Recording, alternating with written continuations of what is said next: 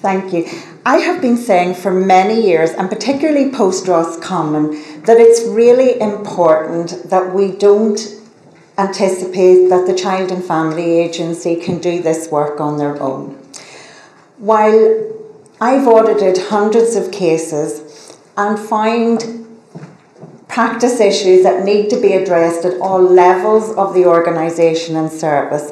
I've also been saying for years that there needs to be this kind of conversation between all of the key players the guardians, the court service. I'm delighted that Judge McGrath is here today because we need to have a mechanism for having conversations with judges and with family law solicitors and we also need to talk to the departments because if we're going to tackle neglect effectively in Ireland, we're going to have to have fundamental legislative change.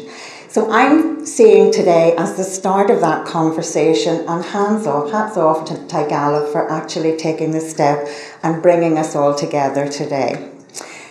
The truth is, there are thousands and thousands of children in Ireland who are chronically neglected, and collectively we have failed those children.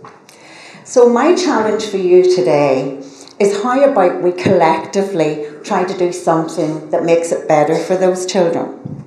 So, who here wants to step up and improve the lives of neglected children? I need to see every hand. That's better. Okay, and who here is prepared to step out of your comfort zone in order to do things differently and more effectively? I still still need 100% hands here, folks. Okay, thank you, thank you.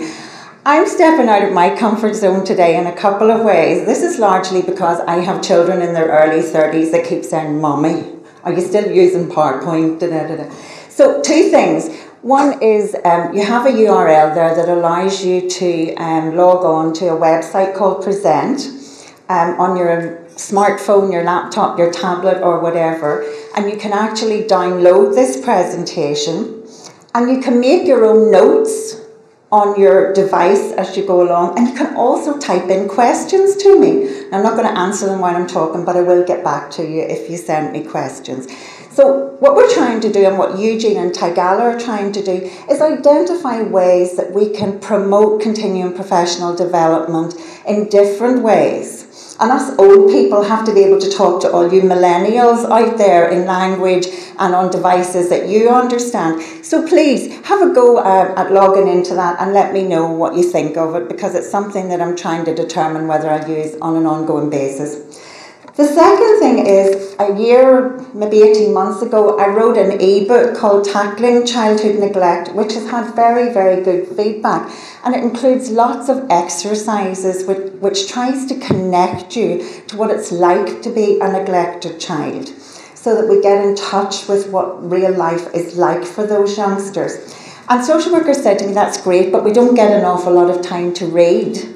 So could you ever make it like an audio program so we could listen to it in the car or while we're walking the dog or whatever? So I've done the audio program. Um, everybody who's at the conference can have it for half price when it's ready. But in the meantime, because I don't have anything for you today, if you email me and I've got sign up sheets at the back or on that platform, I'll make sure that you get the first couple of chapters free. If I do that for you, will you give me feedback on it? Awesome. Thank you very much. Okay, so Helen set me up. She said I was going to tell you how disordered. Okay, well, what I'm going to tell you is what doesn't work and give you some examples of what does work. And I want you to, to work with me on this because I am not really going to tell you anything today that you don't know. But what I want to do is that together, hopefully, our outcome will be for this session and for the rest of the day because I'm really excited about the afternoon, the, the presentations later today and this afternoon, coming at this from all different ways and looking at how neglect impacts on all aspects of a child's life. So I really want us to get the consequences. Helen gave us a fascinating and very, very comprehensive run through all the different aspects of neglect and how it impacts on children and why. But I want us to really get that at an empathic level of what it's like being a neglected child, an emotionally neglected child, a child who's not even important enough to be fed on a regular basis, to have clean clothes, and to be given a cuddle when they need it. I want us to stop doing what doesn't work. Guys, I'm going to talk about Einstein's theory in a minute. We've got to stop doing what doesn't work and we've got to do more of what does work. And I'm going to give you some examples of what does work. And I know that there are huge numbers of examples in this room of what works. And particularly, Katrina, that we're getting so much learning from um, the, the PPFS programme in Mayhill about what works when we can really connect with these parents and get inside their model of the world. And I want to identify some of the blocks and limiting beliefs that hold us back. And one of the big ones, Judge, is that well, we're not going to take this case to court because judges don't give care orders for neglect. So very often we wait until something else happens. And Helen said it's not so much that these families get to a crisis, it's that they lumber along, but the care of the child never gets any better. And the crisis sometimes happen when there's a physical injury to a child or there's a really traumatic accident. You know, the child pulls down, um, the case I was dealing with, the child pulls down daddy's weight bench on top of it, gets a really severe head injury, and then we look at the whole family and realise that the neglect has been chronic for years and the level of care has been really, really poor. So we have to get over some of those limiting beliefs, and some of those limiting beliefs are that we are ineffective in dealing with these cases. We can we can be very effective. We just have to fight, figure out what that is. But most of all, I want us to commit to doing it differently. So Einstein said his definition of insanity is doing the same thing over and over again the same way and expecting a different result. Whenever you do a chronology of long-term um, neglect cases, do you recognise that? Don't you get that pattern of, oh my God, look at that, we've done that and that and that and that, and we've done, been doing it for years and nothing changed for these youngsters. And Jim Rohn, who is one of the all time great um, personal development coaches in America, and he trained Tony Robbins, said, neglect starts as an illness and it becomes a disease. Now, he was talking about the neglect of those everyday habits, like taking a walk round the block, or for social worker, writing up your notes, returning those phone calls. But it actually is so such a relevant analogy for child neglect because you can treat an illness if you get in early while neglect is small um, you can treat it when it's like an illness, but the problem is that a disease is all pervasive. And when neglect goes on for long enough with these families, it impacts on every single aspect of a child's life. And it becomes really difficult to make a difference. What is neglect? Well, Helen gave us some examples, but I want to hear from you at this stage. What is neglect? What does it mean to you? So just shout out what is neglect?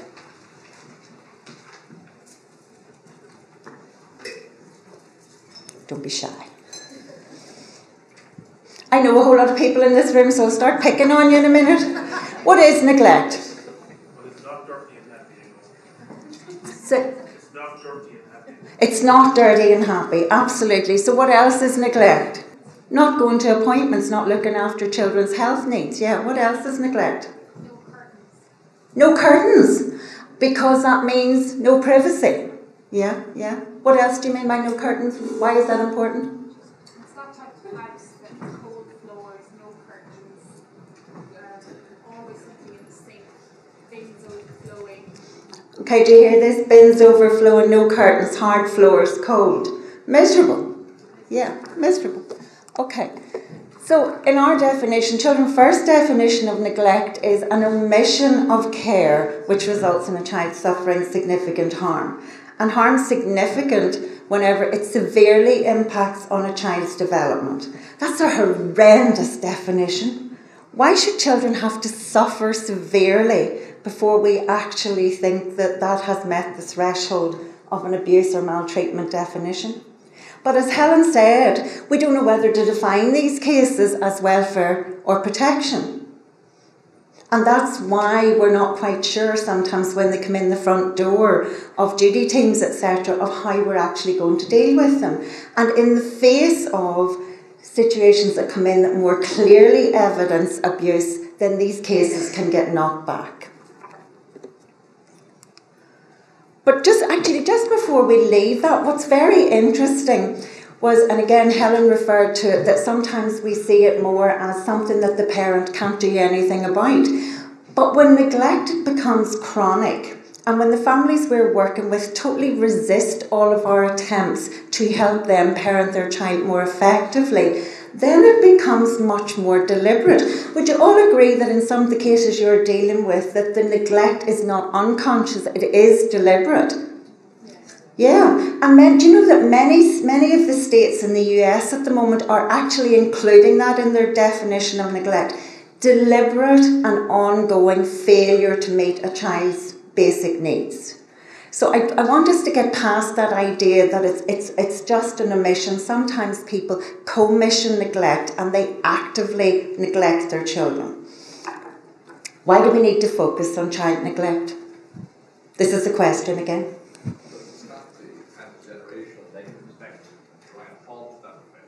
Absolutely, because it's intergenerational, and if we can intervene now, we can stop this becoming reality for the next generation of children. Thank you. Why else do we need to focus on neglect?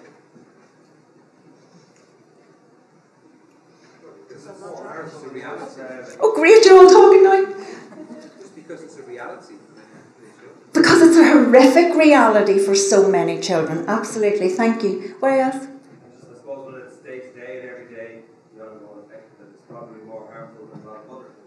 Absolutely. Because the everyday ongoing effect is cumulatively so harmful. Thank you for that. Okay, as Helen said, it's the most commonly reported form of child maltreatment in all developed countries the UK and Ireland, the United States and Canada, Australia. Do you know there's a report of child neglect in America every seven seconds? That's how prevalent it is. It also, as Helen says, it happens in families of all sizes. And here's the important thing for us to get as we become a very more and more multicultural society in Ireland it happens in all cultures. And sometimes it happens differently, so we have to understand those cultural variations and be able to address them. And we also have to help people understand well, that may work in your culture, but here's how we do it in Ireland. And those can be real challenges for us as well. And then, as we've already said, the consequences for jail children are just so devastating. And they're not just devastating at individual family level, they're devastating for communities. We know that there are whole pockets. Um, you know, in, in Dublin, in Waterford, in different com- different areas around the country, where the community is um, plagued by antisocial behaviour, where there is just that sense of deprivation and hopelessness. And it's absolutely devastating for us as a nation because look at the amount of money that we're spending trying to redress the consequences.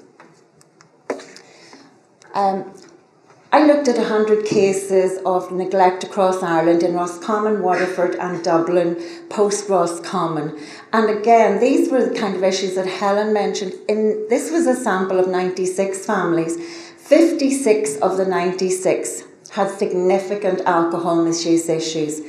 26 out of 96 drug, drug misuse was an issue. Now, that has changed dramatically in the last number of years. Very significant in just a small period, how that has changed so much.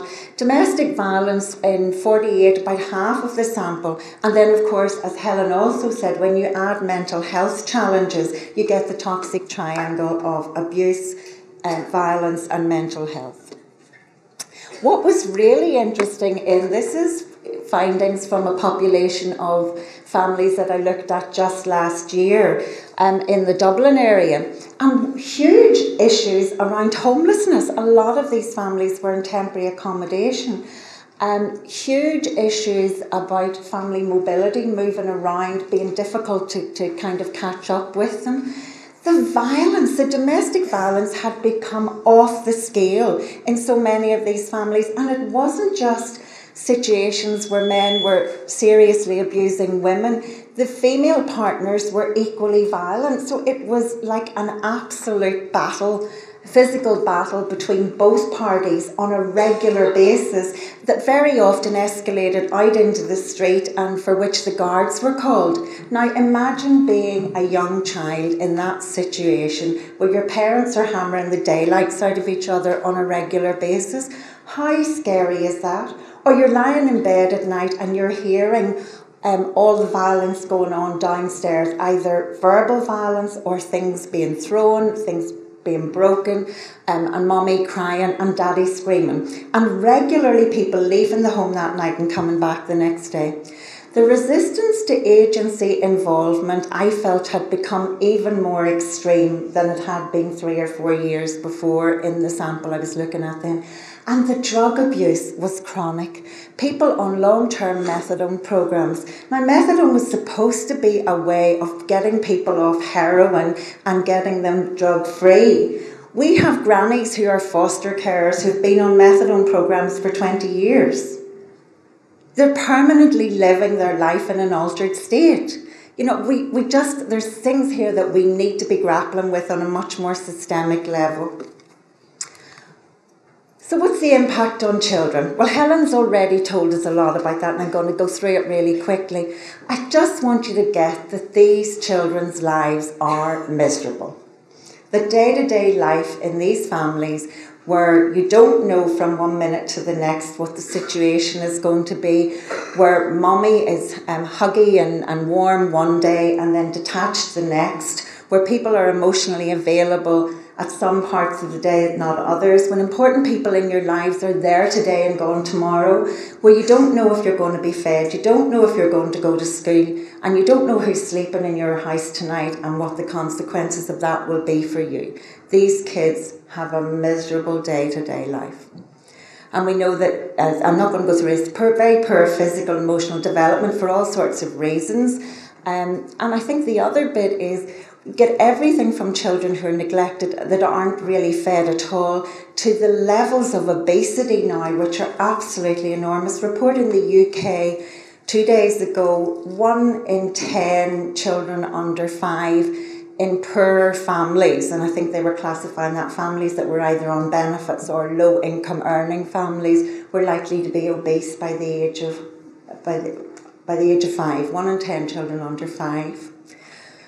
And, and we know um, how many of our families are just fed on, on um, takeaway food and whatever, and we know how expensive a way that is, so the money runs out at the end of the week. But they don't get a chance in school. Their education is disrupted. They're not, um, they don't fit into school because they're not there long enough. And then their self esteem gets so damaged at such an early age. And we're going to be hearing later on from other speakers just how your psyche gets damaged when you get neglected at that level. And they're also much more accident prone and they're more vulnerable to abuse just because there are very often no boundaries within these homes. The longer term impact we know is that very soon these troubled children become troublesome adolescents and they're socially isolated, they're stigmatized, and they have very poor coping strategies. I'm working with a number of you at the moment, um, looking at some aspects of, of providing therapeutic inputs into special care. And many of these children, Paul, will have had very neglected backgrounds, characterised by some of the kinds of situations that I'm talking about here. They're at much higher risk of self harm. They either turn the anger outwards and get into trouble in the community through violent crime, or they turn it inwards and that's when they self harm. And they're at much higher risk of alcohol and drug misuse because that's what they know. They also, we're seeing so many of these kids transition from special care to detention because it's so much easier for them to get involved in criminal activities.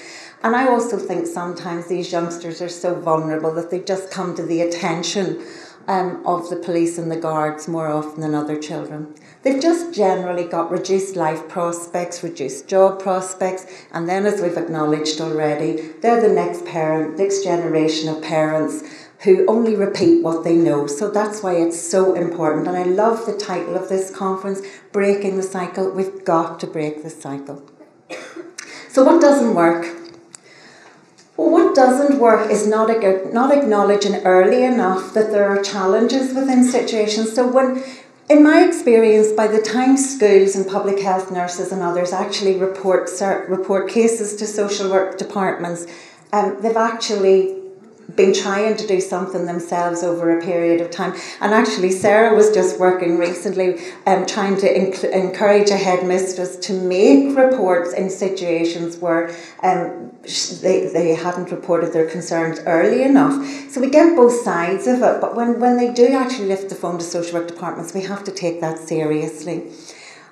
Assessments, you know, I part of the challenge is nowadays that people are coming straight in, social workers are coming straight into care teams, never having served their time in duty. So if a situation comes up in a family where um, there's a child in care and another child at home, these social workers might never have done an initial assessment because they've never been on a duty team. So we've got to work through some of those challenges around making sure that everybody, it's bread and butter work of a social worker to be able to do an assessment. And an assessment doesn't need to take a whole pile of time. But you just have to know that there's three prongs you're looking at, and we all know they are. It's the child itself, the parent, and the external, kind of more extended family situations. And you know, there's a limited amount you have to look at, and you have to pull it together really quickly so that you can make a decision about what you need to do to make things better. There's a huge over reliance on family support, and I think that's got better over time. But typically, these families, we put in a family support worker and expected them to work magic.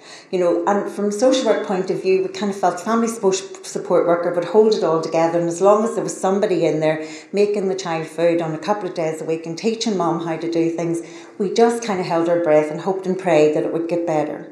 But the problem is, if mom doesn't learn anything or commit to improving her childcare in those those sessions, whatever, then there's no point in us just having the family support worker in forever.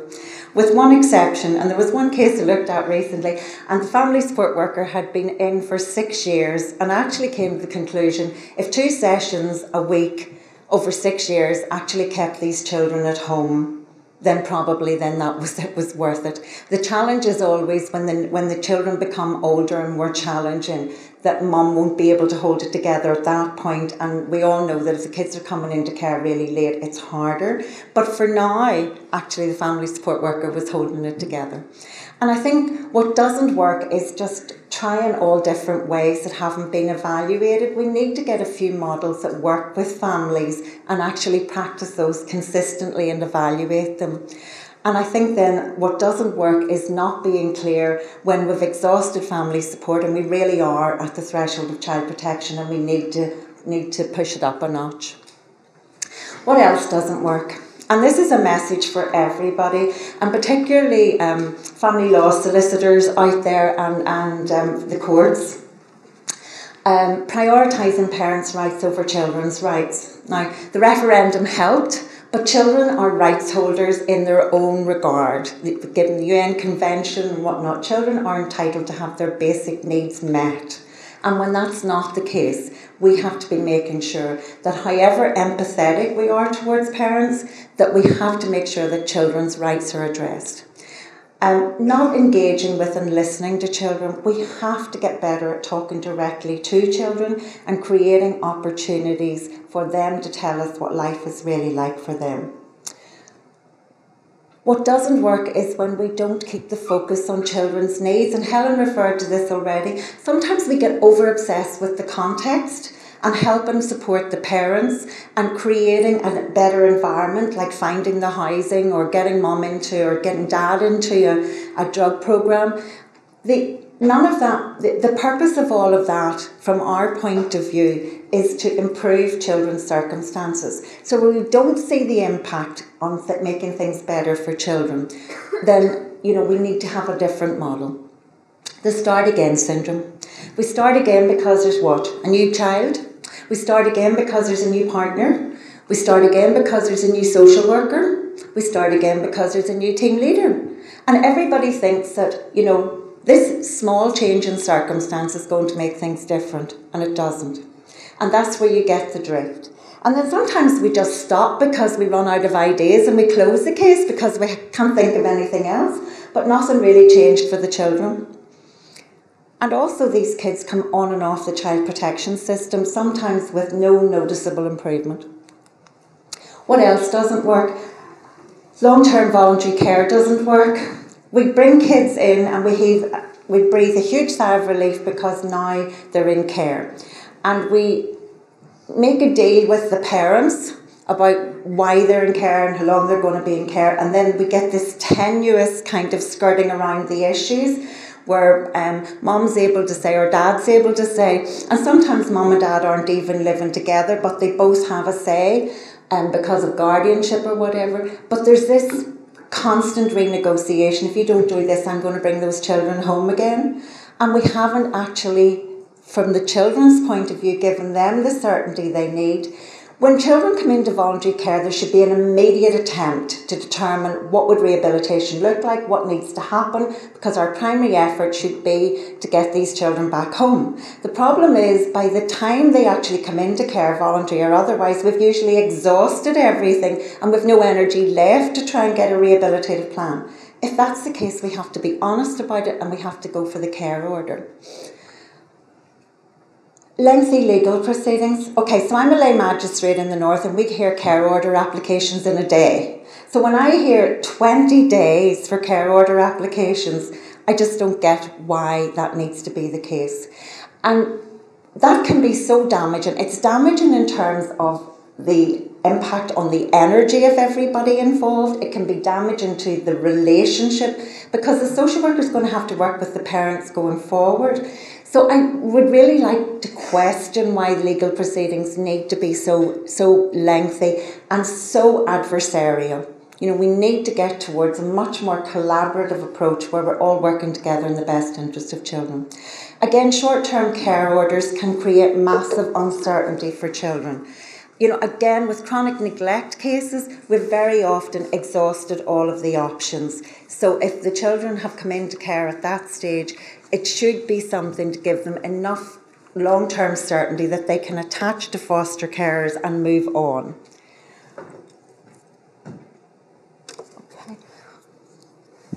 And then, following on from that, high levels of inappropriate contact and access, we have to determine whose needs are we meeting by contact and access.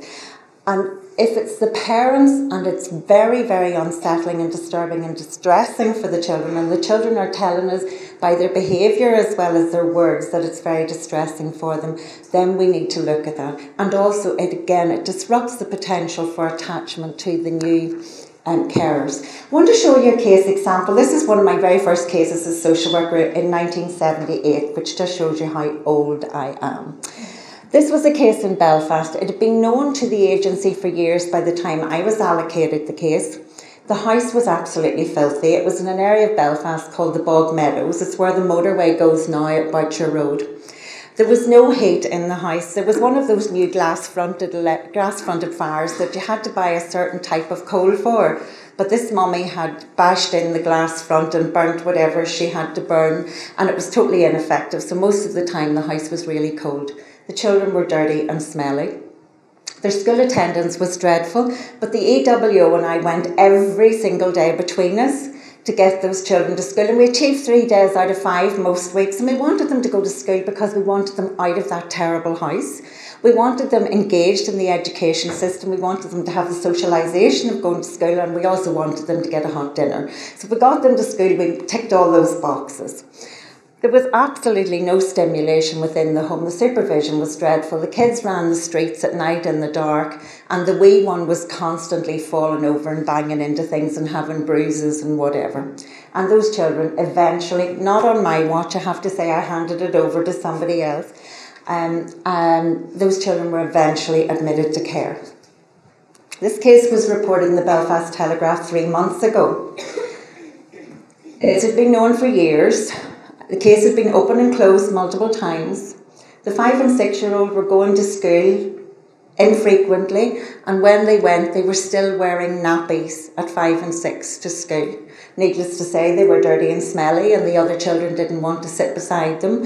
And the teachers reported multiple times how concerned they were. The house was filthy, there were dog feces everywhere. The children's toenails were so long that they curled right under their feet and stuck into the underside of their toes so that they couldn't walk without pain. This is 2016. The stimulation was dreadful and they were eventually admitted to care. Why did it get to the Telegraph? The mother appealed the district judge's decision on the care order and it went to the High Court and the High Court judge made a judgment which was reported in the Telegraph. And I've just been asked to undertake the case management review in that case. Those two cases were 38 years apart. Do you see what I mean about not doing what doesn't work?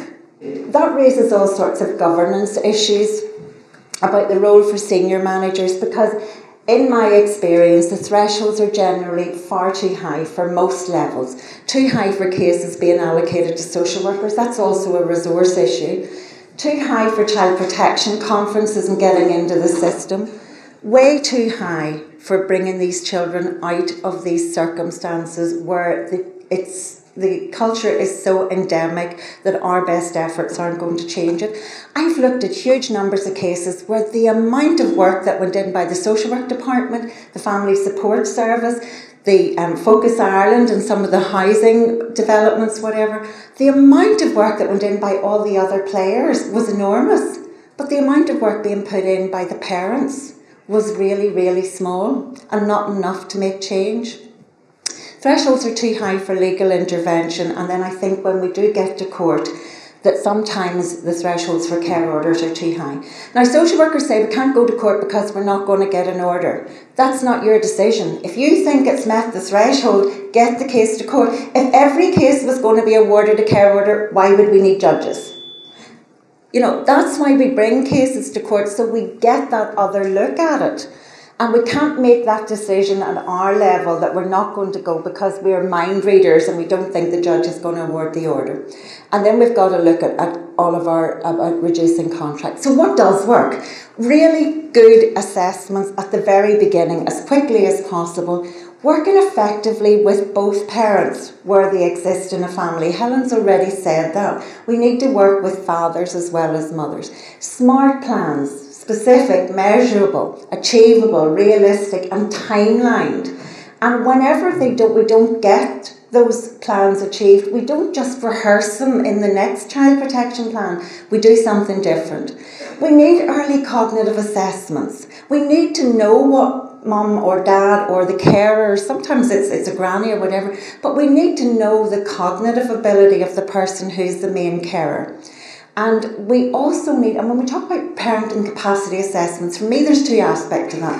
One is the cognitive piece, what is the parent capable of? The second is the motivational piece, what is the parent willing to do? And you need to have both those aspects. And you need regular and frequent reviews.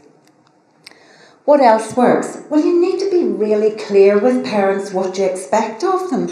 And sometimes, you know, you know that bit about communication is not what's transmitted, it's what's received. And when I'm doing audits and you actually talk directly to children and young people, you talk directly to parents, then sometimes they just didn't get the bit that what is it exactly you want them to do, and sometimes we ask too much of them.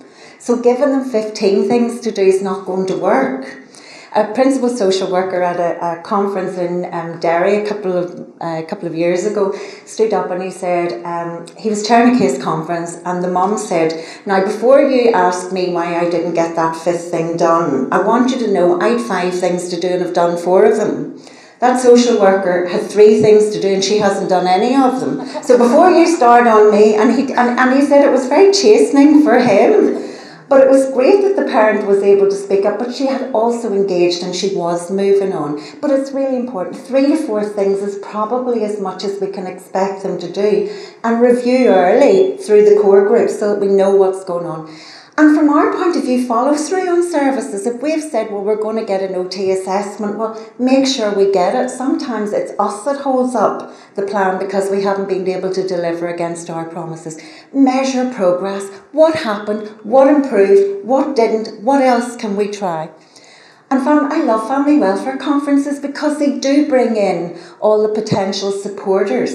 And the reason most of them go wrong is because everybody's very enthusiastic and optimistic at that page and we don't review them early enough. And something happens in these families two weeks down the road and we need to make sure that we've corrected. What else works?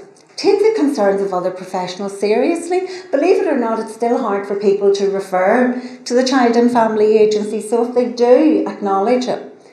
And then the other bit is see the chronicity.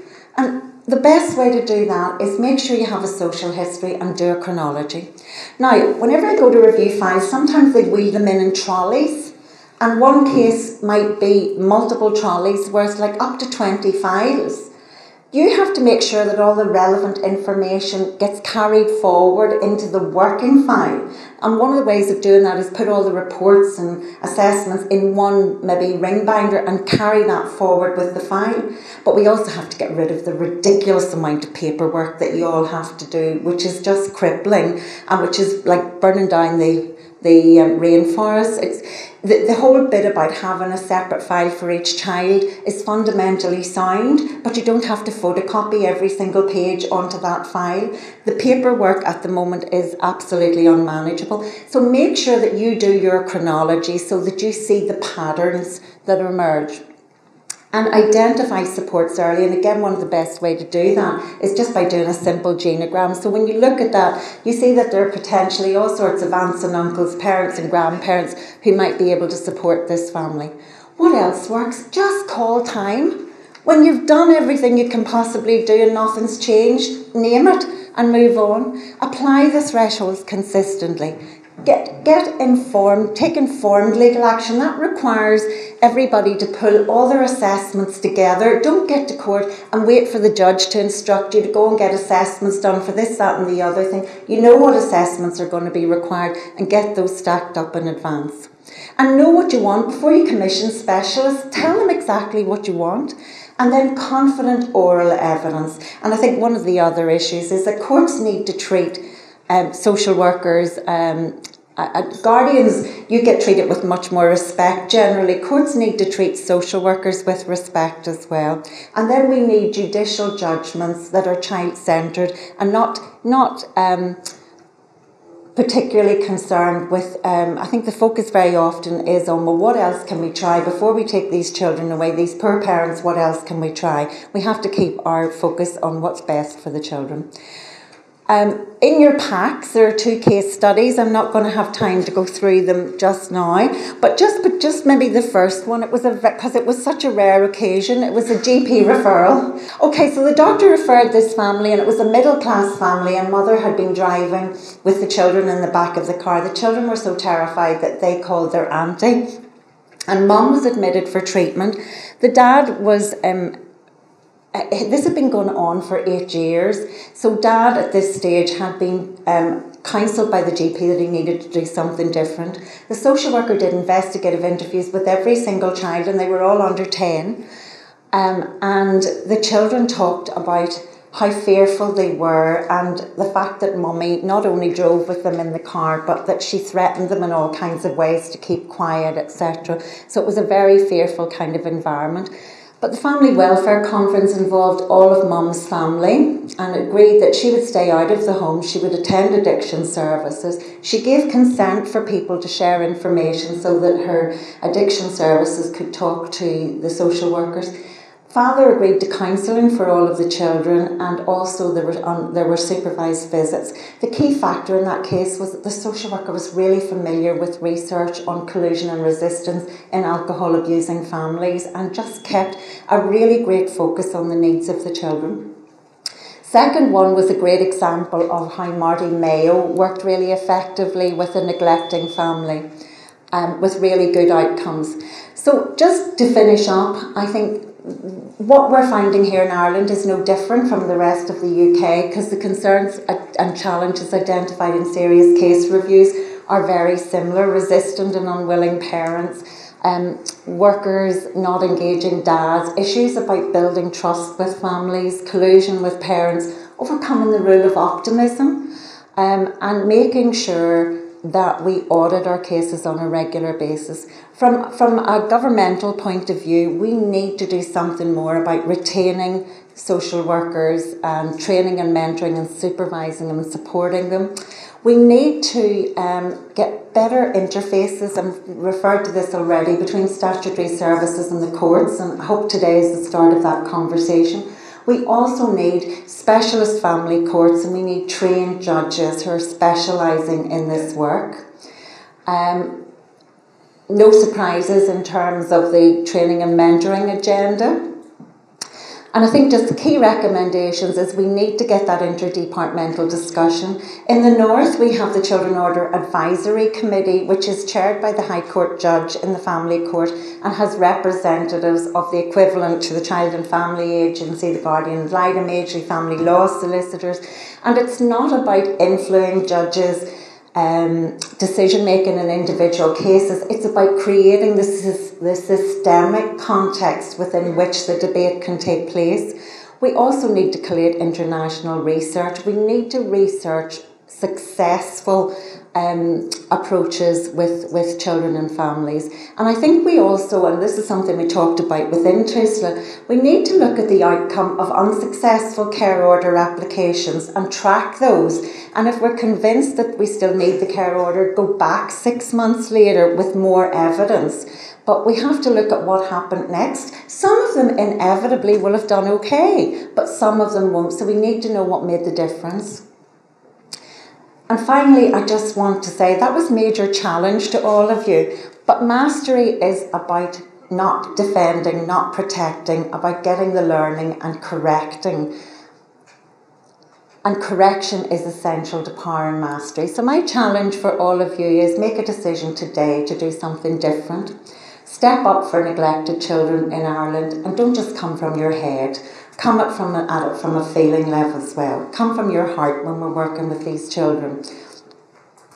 And um, if you want copies of the first two chapters of the audio programme, there's sign up sheets, or you can email me at lynn at lynnepeyton.com, or you can go to the website and download, I think from tomorrow, um, download those two chapters.